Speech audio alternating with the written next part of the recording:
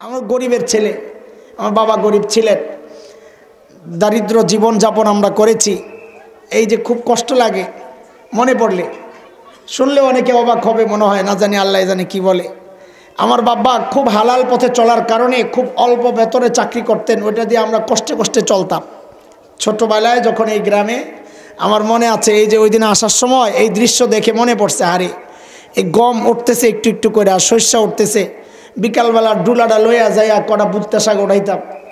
আনলে ওই বুত্তা শাক রান্ত আর একটু দুধ রুজ করা ছিল, ওইটা দিয়েই ভাত খাওয়াই আম করে ঘুম পড়াইয়া রাখতো। আমরা তো ওইভাবে বড় হয়েছি আলহামদুলিল্লাহ আমার ভাইকে চলে আসছেন নি। মাশা আল্লাহ আলহামদুলিল্লাহ কন? আলহামদুলিল্লাহ কন? জোরে জোরে বলেন। আরে মুখটা চেহারাটা দেখাও তো শান্তি। হ্যাঁ নুরানি চেহারা মাশা আল্লাহ আর পানটা খাইলে তো কথা নেই, ঠোঁটটি লাল হয়ে থাকে মাশা আল্লাহ কি সুন্দর লাগে। আসছি না, হুদাই ইয়া করতেছি আমি। আয় পড়ছে? আরে তোরা কথা ক বাসি কি জন্যে? জোরে লাগা। গলা আমার মতো।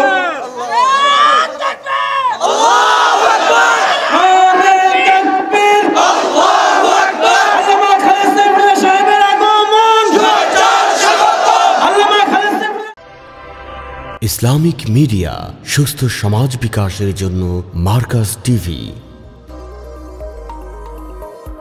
স্পষ্ট গুমরাহিতে নিমজ্জিত এটা আমার কথা না কোরআনের কথা।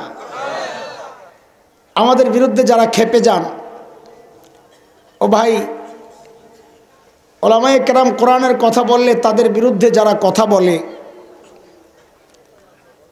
এরা নাম্বার ওয়ান পাগল। কেন? একটা উদাহরণ শোনেন।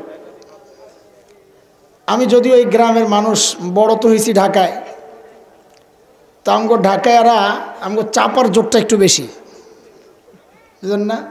চাপার জোর বুঝেন তো? মানে চাপা খুব শক্তিশালী, ঘুষি দিলে লাগে না এমন না। কথার জোর বেশি আর কি বলে চাপার জোর বেশি।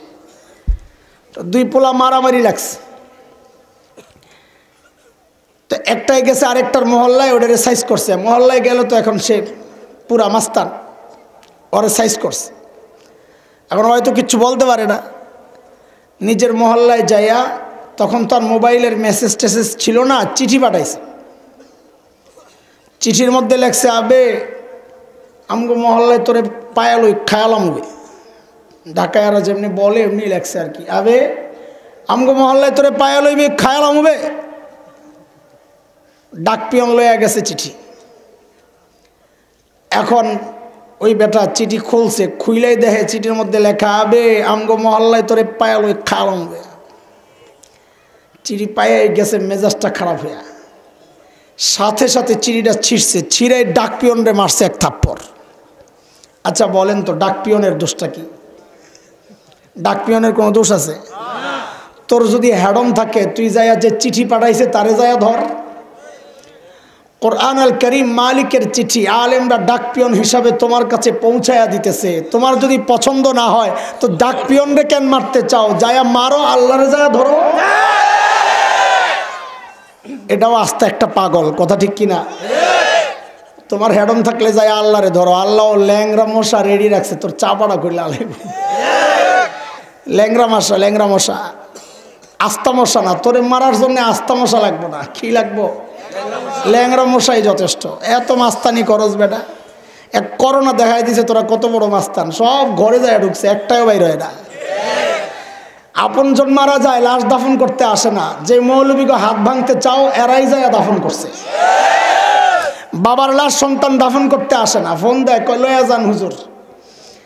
যে হুজুরগদেরকে গাইলাও, পাকিস্তান পাঠাইতে চাও এরাই যায় করোনা রোগের যায়া নিজের জীবনের তুচ্ছতা চিল্ল করে, সন্তানের মায়া করে নাই, বিবির মায়া করে নাই, তোমার বাবারে নিয়ে দাফন করছে। আজকে তাদের পাও চাও পাকিস্তান পাঠাইতে আমি বলি, ভাই, পাকিস্তান পাঠাইস না, যদি পাঠাইতে মনেই চায়, তো মক্কা মদিনায় পাঠাই দে। এনে যাই এবার করি। পাকিস্তান পাঠাইলে কি আমগো? লা হাওলা ওয়ালা কুওয়াতা ইল্লা বিল্লাহ। দোস্ত, দিন বুঝা, এই মানসিকতা, এটা আল্লাহর দান। আল্লাহ সবাইকে দেন না আর যাকে দেন মালিক বলেন সে আমার স্পেশাল নূরের আওতায় থাকে আর যার দিল শক্ত তার জন্য দুর্ভাগ্য মালিক বলেছেন এবং সে স্পষ্ট গুমরাহিতে নিমজ্জিত কথাকার সুরা জুমার আয়াত বাইশ মালিক বলেন أفمن شرح الله صدره للإسلام فهو على نور من ربه. فويل للقاسية قلوبهم من ذكر الله.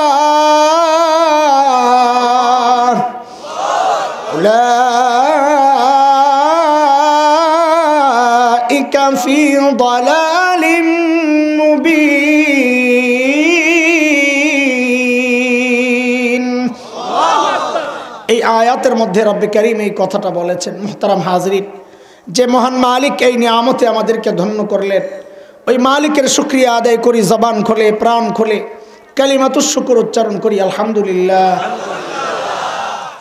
আমার আসলে আজকে বয়ান করার নিয়ত ছিল না।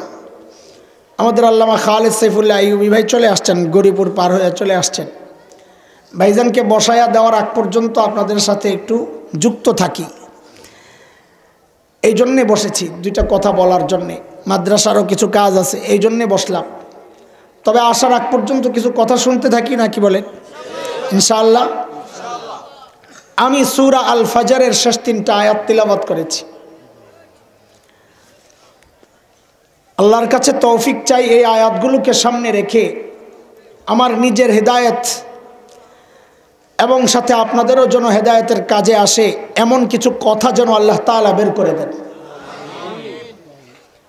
আল্লাহ তালা এই আয়াতে মুতমাইন নফসকে ডাকছেন অ মুতমাইন নফস, তুমি তোমার রবের কাছে ফেরত আসো। প্রথম কথা হচ্ছে মুতমাইন নফসকে কাকে আল্লাহ ডাক দিচ্ছেন? তো বলে মুফাসিররা অনেক বক্তব্য দিয়েছেন, তার সবগুলা মিলেইলে যা বোঝা যায়, মুতমাইন নফস হচ্ছে ওই ব্যক্তি, যে ব্যক্তি আল্লাহর ইচ্ছাকে নিজের ইচ্ছা বানায়, আল্লাহর চাওয়াকে নিজের চাওয়া বানায়, আল্লাহর খুশিকে নিজের খুশি বানায়, আল্লাহর মর্জিকে নিজের মর্জি বানায়, আল্লাহর অপছন্দকে নিজের অপছন্দ বানায় মানে আল্লাহ যা চান তাই করে, দল, নেতা সব পিছনে ফেলায়।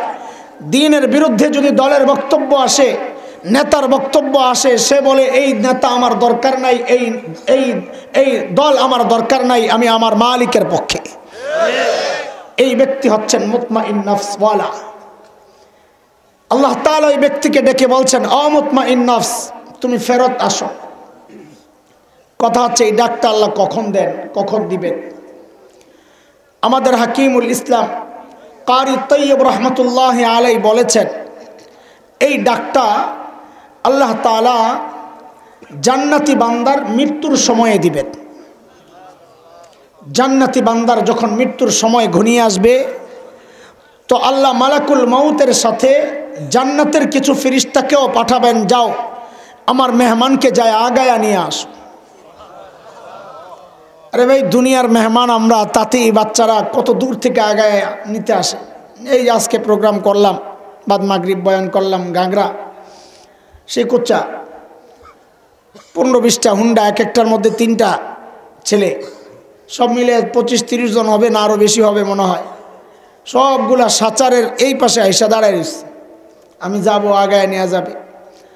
আবার আমার আগায় দেওয়ার জন্য এই পর্যন্ত আসছে। এখানে এসে নামায় দিয়ে গেছে। আবার হুজুরকে এখন নিয়ে যাচ্ছে আব্দুল বাসদ খান সাহেবকে। তো আমরা দুনিয়ার মেহমান, আমাদেরকে আগায় নেওয়ার জন্যেই লোকজন আসে আগায়া। তো জান্নাতের মেহমানের জন্য আল্লাহ তালা ওই রকম জান্নাতের ফিরিস্তাকে পাঠাবেন, যাও আমার মেহমানকে আগায় নিয়ে আসো।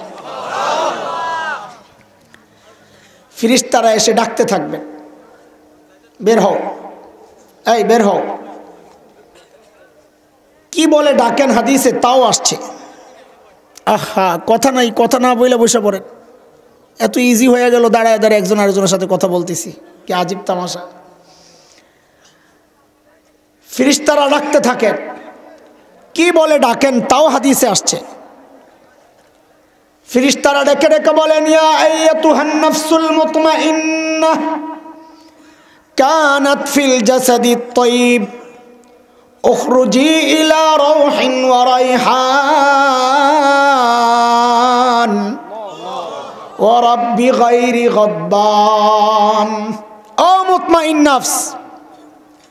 এতদিন তুমি পবিত্র শরীরের ভিতরে ছিলা, আজকে বের হও বের হও। বলে, কোথায় বের হব? লীলা রৌহিন রাইহান, বাগ বাগিচা জান্নাতের দিকে। ও রব্বি গৈরি গদ্বান এবং তোমার ওই রবের কাছে যেই রব, আজকের পর আর কোনো দিন অসন্তুষ্ট হবেন না। বের হও। রোহকে এইভাবে ডাকবে কিন্তু রোহ বের হবে না। কেন? ওই যে শরীরের সাথে লম্বা সময় থাকার কারণে একটা মহাব্বত তৈরি হয়েছে এখন শরীরকে ছেড়ে রোহ বের হতে চায় না। তো ফিরিস্তারা যায়, আল্লাহকে জানাবেন, আল্লাহ, আপনার মেহমান তো আসতে চায় না। তো আল্লাহ তালা বলবেন, যাও আমার মেহমানকে তার জান্নাতের বাড়িটা একটু দেখায় দাও। বলে, যেই না বান্দার সামনে জান্নাতের বাড়িটা প্রকাশ পাবে, সে অস্থির হয়ে যাবে দুনিয়া থেকে যাওয়ার জন্যে। ঠিক ওই মুহূর্তেই আল্লাহ তাআলা ডাক দিয়া বলবেন, ইয়া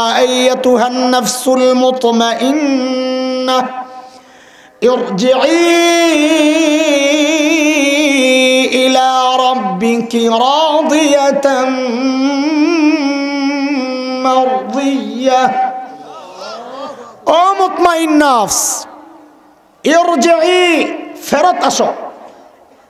খেয়াল করেন কথা, ফিরিস্তারা যখন ডেকেছিল, ফিরিস্তারা বলেছিলেন বলেছিলেন উখ রুজি বের হও বের হও।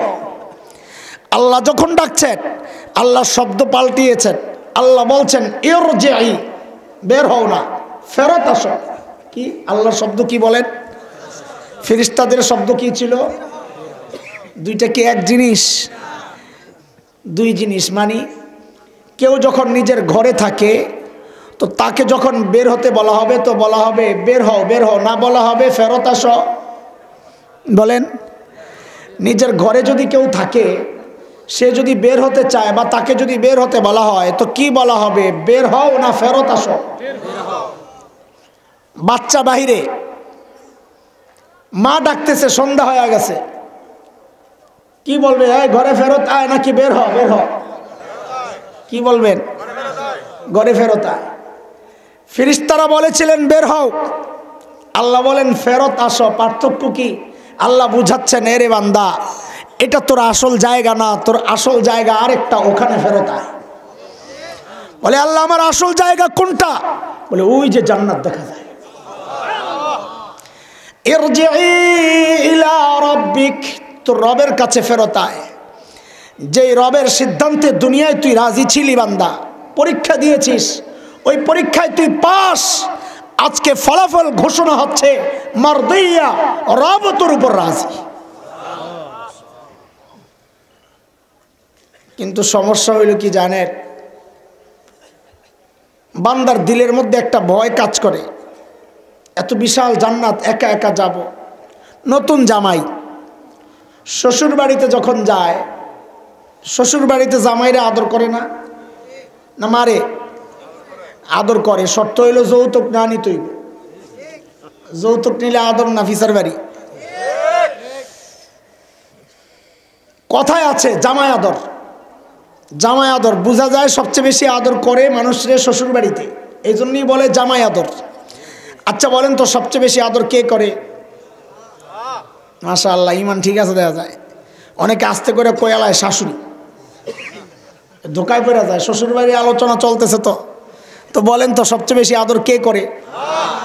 হ্যাঁ একটা ভেজাল আছে। এই ভেজালটা একটু ভেঙে দিই, নাহলে ধরা খাবি পোলা পাইনি, ভবিষ্যতে অনেক ধরা খাবি। সবচেয়ে বেশি আদর দেখান শাশুড়ি। বলেন বলেন। সবচেয়ে বেশি আদর দেখান কে? সবচেয়ে বেশি আদর করেন মা। আমার হিসাব ঠিক করেন। সবচেয়ে বেশি আদর দেখান কে? সবচেয়ে বেশি আদর করেন কে? এই পার্থক্যটা যেটাই বুঝে না ওটাই গন্ডগোল লাগাইয়া দেয়। এমনে করে আমার শাশুড়ি আমার বেশি আদর করে, মা তো বেশি আদর করে না। আরে গাদা শাশুড়ি আদর দেখায় বেশি, মা আদর করেন বেশি।